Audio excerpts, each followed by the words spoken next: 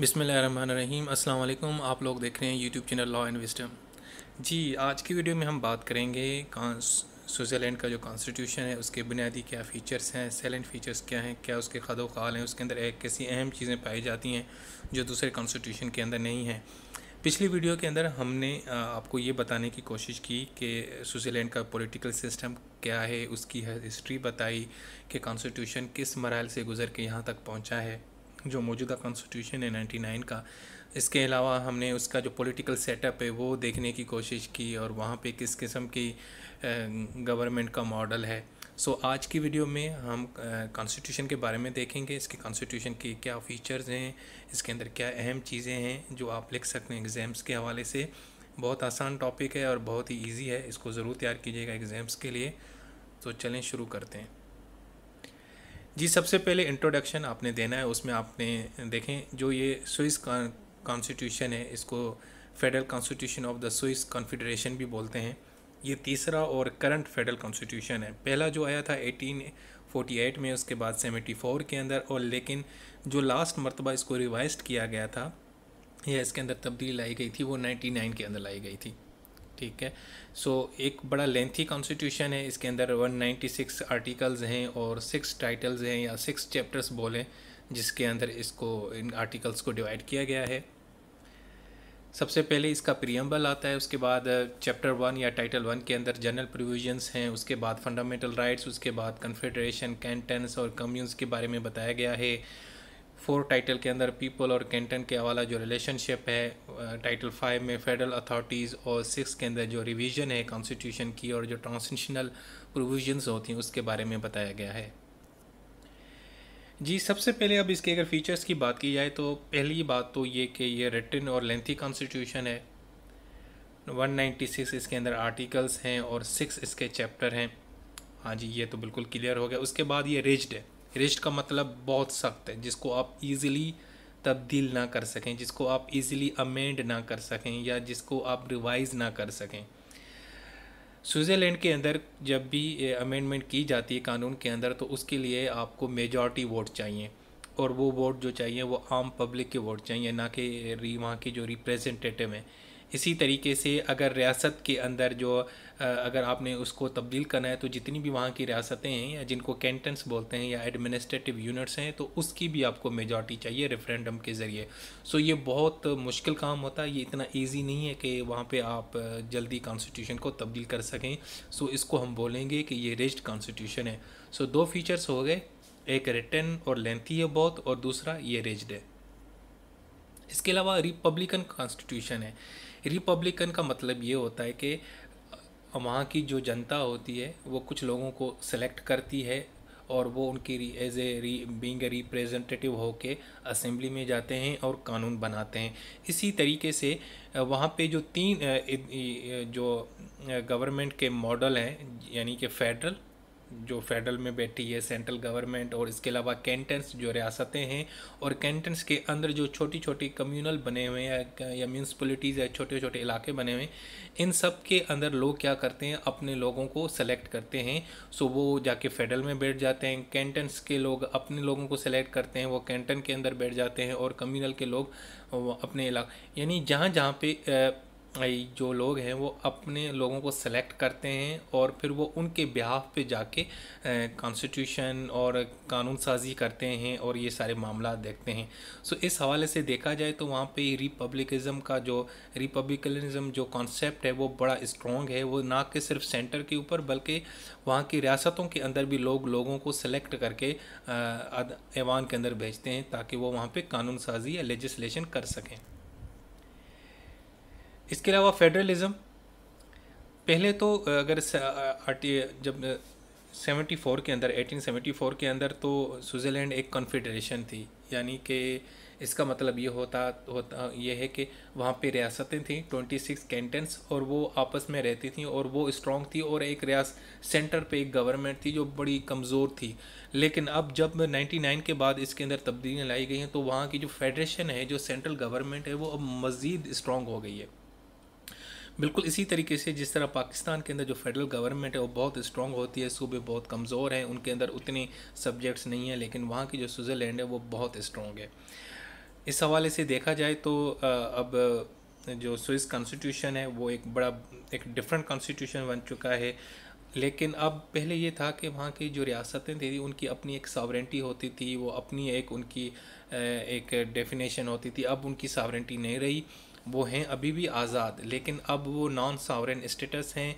Super Messi जो है, वो कॉन्स्टिट्यूशन की है। वो जो कॉन्स्टिट्यूशन के अंदर लिखा गया है, वही होगा। और जो पावर्स हैं, उनको बराबर ही डिवाइड किया गया है फेडरेशन के अंदर और कैंटन्स के अंदर, यानी रियासतों के अंदर। सो इस हवाले से पहले वहाँ पे फेडरेशन स्ट्रॉन्ग नहीं थी।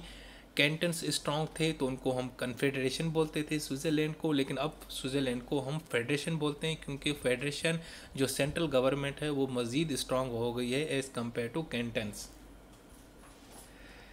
इसके अलावा जनाब, जो एक अहम फीचर है स्विट्ज़रलैंड के कॉन्स्टिट्यूशन का, वो और बड़ा खूबसूरत कॉन्सेप्ट है, वो है डायरेक्ट डेमोक्रेसी हाँ जी वहाँ पे डायरेक्ट डेमोक्रेसी है। डायरेक्ट डेमोक्रेसी का मतलब ये है कि स्विट्ज़रलैंड के अंदर जब भी कोई कानून बनाया जाता है या कोई भी आ, काम किया जाता है तो लोगों से ज़रूर राय ली जाती है और उसके दो तरीके हैं एक रेफरेंडम और एक इनिशिएटिव रेफरेंडम में क्या होता है कि स्विट्ज़रलैंड के जो लोग हैं जो पार्लियामेंट के अंदर बैठे हुए हैं वो एक कानून बनाते हैं और उसको अप्रूव करने के बाद आम लोगों को कहते हैं कि जी बताएँ, आप लोग इसके हक़ में वोट देते हैं, नहीं देते। तो लोग जी रेफरेंडम के ज़रिए उसके हक़ में या उसके अगेंस्ट में वोट देते हैं और वो कानून बन जाता है। एक तो ये काम है। दूसरा है इनिशिएटिव। उसमें ये होता है कि लोग खुद से न प्रपोज करते हैं कि जी, इस चीज़ के ऊपर कानून बना दें, इसके ऊपर ये कर दें, वो कर दें। ये होता है। रेफरेंडम के अंदर कानून बन जाता है, उसके बाद राय ली जाती है और इनिशिएटिव में एक्चुअली कानून बनाने से ही जो ना, लोग अपनी ना पार्टिसिपेशन शुरू करते हैं। जो आम जनता है, आम लोग हैं, जो आम पब्लिक है। सो ये दो बड़े एक अहम डायरेक्ट डेमोक्रेसी का एक बड़ा कॉन्सेप्ट है। इसके ऊपर एक अलग सी वीडियो भी मैं बनाने जा रहा हूँ। आप लोगों को मज़ा आएगा और बड़ा इजी कॉन्सेप्ट है। और स्विट्ज़रलैंड का अगर कॉन्स्टिट्यूशन आप लोगों को पढ़ाया जाता है पॉलिटिकल साइंस में तो उसकी बुनियादी वजह शायद यही है कि ये जो कॉन्सेप्ट है डायरेक्ट डेमोक्रेसी का, इसकी वजह से। ठीक है, इसको हम डिटेल में मज़ीद देखेंगे। अब तक यहीं के डायरेक्ट डेमोक्रेसी के अंदर जो आम लोग हैं, उनको डायरेक्ट एसेस दी जाती है कानून साजी के अंदर। देखें, पाकिस्तान के अंदर ऐसा नहीं है। हमारे यहाँ, हमारे जो एमएनए लोग हैं एम हैं, जो हमारे रिप्रेजेंटेटिव हैं, वो क्या करते हैं, वो हमारी ब्याह पे जाके कानून साजी करते हैं अप्रूव करते हैं। हमारे हाथ में कुछ नहीं होता कि हम इस कानून को तब्दील करें या ना करें, ठीक है? सो लेकिन स्विट्ज़रलैंड में ऐसे नहीं होता। वहाँ पे अगर आपने कोई कानून बनाना है तो उसके बाद फिर आपने आखिर में अपने लोगों के पास ही जाना है आम लोगों के पास ही जाना है, और उनसे पूछना है कि जी आप लोग क्या कहते हैं, ये कानून बनना चाहिए या नहीं बनना चाहिए, ठीक है? इसके अलावा एक बड़ा डिफरेंट कॉन्सेप्ट है प्लूरल एग्जेक्टिव एग्जेक्टिव एग्जेक्टिव का काम होता है कानून की इम्प्लीमेंटेशन करवाना। आपने कोई भी कानून बनाना, उसको इम्प्लीमेंट तो एग्जेक्टिव ने कराना है तो वहाँ पे कोई एक प्रेसिडेंट नहीं है, बल्कि एक काउंसिल बनाई गई है सात बंदों की। और उस सात बंदों के अंदर प्रेसिडेंट की जो पोस्ट है वो रोटेट होती है। एक साल एक बंदा होता है, दूसरे साल दूसरा, तीसरे साल तीसरा चौथे साल चौथा बंदा। तो रोटेट होती है तो इस हवाले से जो एग्जेक्टिव के पावर हैं, वो एक ग्रुप के पास है, ना कि एक बंदे के पास है। वो सात के साथ लोग मिल के सारे मामला को देखते हैं, इसको इसलिए वहाँ पर प्लूरल एग्जेक्टिव प्लूरल का मतलब होता है एक से ज़्यादा।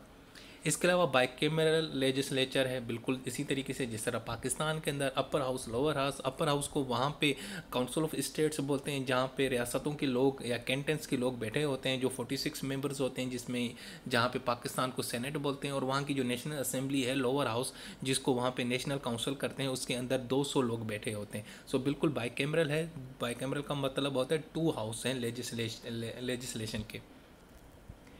इसके अलावा जी bill of right bill of right actually वो फंडामेंटल राइट्स हैं जो यूएसए के कॉन्स्टिट्यूशन के अंदर लिखे गए हैं जिनको बिल ऑफ़ राइट्स बोलते हैं। इनशाला नेक्स्ट जाके हम यू एस कॉन्स्टिट्यूशन के ऊपर भी वीडियोस बनाएँगे तो उसके अंदर मैं आप लोगों को बताऊँगा कि बिल ऑफ़ राइट्स क्या है इसकी क्या हिस्ट्री है।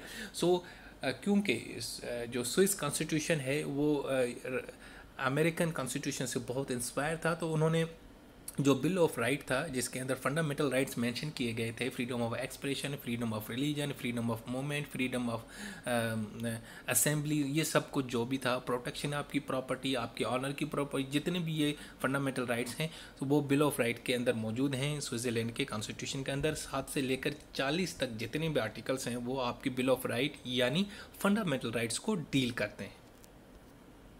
इसके अलावा जी ट्रिपल सिटीजनशिप का भी एक कॉन्सेप्ट पाया जाता है। क्योंकि मैंने आप लोगों को पहले अपनी लास्ट वीडियो में बताया था कि वहाँ की जो अथॉरिटी है, जो पावर है, वो तीन हिस्सों में डिवाइड है, तीन समझें लोगों के अंदर। आप ऐसे ही समझ लें। नंबर वन वहाँ की जो सेंट्रल की स्टेट है, उसके बाद कैंटन्स जो रियासतें हैं और उसके अलावा कम्यून्स जो छोटे इलाके हैं, जिसको म्यूनसिपलिटीज़ बोलते हैं, वहाँ के अंदर। तो इसी हवाले से वहाँ पे एक शख्स के पास तीन किस्म की सिटीज़नशिप होती है। एक तो उसके पास फेडरल स्टेट की होगी, उसके बाद फिर उसकी रियासत की होगी, जिस रियासत में रहता है, और उसके बाद उस रियासत के किस इलाके और किस कम्यून या किस म्यूनसिपलिटी के अंदर रहता है, उसकी सिटीज़नशिप होती है। देखें, पाकिस्तान में तो एक ही है ना सबके पास, पाकिस्तानी है। आप पंजाब से हैं, सिंध से हैं, कैपी से हैं, बलूचिस्तान से आपके पास नेशनलिटी सिर्फ़ या सिटीज़नशिप सिर्फ़ एक ही है। वहाँ पे ऐसा नहीं है, वहाँ पे तीन किस्म की सिटीज़नशिप होती हैं। इसके अलावा नो जुडिशल रिव्यू देखें, अगर रेफरेंडम और इनिशिएटिव के ज़रिए, अगर आम लोगों के ज़रिए कोई कानून बनाया जाता है तो उसके बाद कोई अदालत उसके ऊपर रिव्यू नहीं कर सकती या उसको, उसके ऊपर तनकीद नहीं कर सकती, उसको रिजेक्ट नहीं कर सकती, उसको देख नहीं सकती। ये एक बड़ा एक इम्पोर्टेंट है कि एक अहम जुज़ है स्विस कॉन्स्टिट्यूशन का कि अगर जब एक दफ़ा कानून बन जाएगा और लोगों ने अपना उसके ऊपर फैसला दे दिया रेफरेंडम के ज़रिए या इनिशिएटिव के ज़रिए जो डायरेक्ट डेमोक्रेसी के टूल हैं तो उसके बाद उसको आप तब्दील नहीं कर सकते और ना ही किसी अदालत को इजाज़त होगी कि उसको रिव्यू कर सके। उसके बाद ये लास्ट जो सबसे लास्ट है और अहम जो उसका एक फ़ीचर है, वो है न्यूट्रल हाँ जी स्विट्ज़रलैंड दुनिया का शायद समझें कि एक वाद कंट्री है, जिसके कॉन्स्टिट्यूशन के अंदर लिखा हुआ है कि इसने हमेशा न्यूट्रल रहना है इसने कभी भी किसी भी ब्लॉक को ज्वाइन नहीं करना, किसी भी मुल्क का साथ नहीं देना, चाहे जंगें लड़ें, कुछ भी हो। सो इस वजह से जितने भी मिलिट्री अलायंस होते हैं, जो यूनिटी बनाई जाती हैं, जैसे नेटो है ओआईसी है मुख्तलिफ़ किस्म के जो बनाए गए होते हैं तो ये उसमें किसी में हिस्सा नहीं देता, इसने इसका काम है, इसने कहा कि मैंने किसी भी कंट्रोवर्शियल सिक्योरिटी के हवाले से जितनी भी कॉन्फ्रेंसेस होती हैं ट्रेटरी ऑर्गेनाइजेशन अलायंस जहाँ पे भी वेपन्स की बात होती है, मार धड़ाई की तो ये उसमें हिस्सा नहीं देता। कहा जाता है कि 1815 के बाद स्विट्ज़रलैंड ने कभी भी किसी भी जंग के अंदर, किसी भी मुल्क की लड़ाई के अंदर अपना हिस्सा नहीं डाला, उसके अंदर इंटरफेयर नहीं किया, ये इतना न्यूट्रल रहा है। इवन के 2002 तक तो वो यूनाइटेड नेशन का मेंबर भी नहीं था।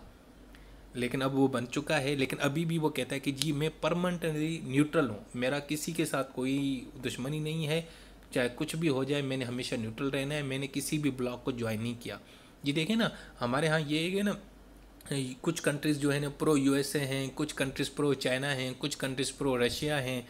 सो इस तरह से है, लेकिन यहाँ पे ऐसा मामला नहीं है। स्विट्ज़रलैंड बिल्कुल न्यूट्रल है और मेरे ख्याल में शायद यही वजह है कि स्विट्ज़रलैंड इतना तरक्की याफ्ता और एक खुशहाल मुल्क है। 2019 के अंदर इकनॉमिक इंटेलिजेंस की रिपोर्ट के मुताबिक 2019 में स्विट्ज़रलैंड के अंदर फुल डेमोक्रेसी थी। और ये इतना कामयाब कंट्री है, यहाँ पे टूरिज़्म है, बड़े खुशहाल लोग हैं, हालाँकि बड़ी कम आबादी है, सात से आठ मिलियन के लोग पाए जाते हैं स्विट्ज़रलैंड के अंदर और, लेकिन उसके बावजूद भी एक ये खुशहाल कंट्री है। सो जी, ये थे बुनियादी फ़ीचर्स स्विट्ज़रलैंड के कॉन्स्टिट्यूशन के हवाले से। सो क्वेश्चन में आएगा तो आपने सबसे पहले इंट्रोडक्शन उसके बाद उसकी स्ट्रक्चर बतानी है। उसके बाद ये फ़ीचर्स हैं written lengthy constitution rich constitution है रिपब्लिकन कॉन्स्टिट्यूशन है फेडरलिज्म पाई जाती है डायरेक्ट डेमोक्रेसी का कॉन्सेप्ट है प्लूरल एग्जेक्टिव है बाई कैमरल लेजिस्लेचर है इसके अलावा बिल ऑफ़ राइट यानी फंडामेंटल राइट्स मेंशन है ट्रिपल सिटीजनशिप का कॉन्सेप्ट है और नो जुडिशल रिव्यू और इसके अलावा न्यूट्रल यानी कि परमानेंट एक न्यूट्रल इसका स्टेटस है। सो so, आज के लिए बस इतना उम्मीद है कि आप लोगों को ये मेरी वीडियो पसंद आई होगी। सो so, तब नेक्स्ट वीडियो तक अल्लाह हाफिज़।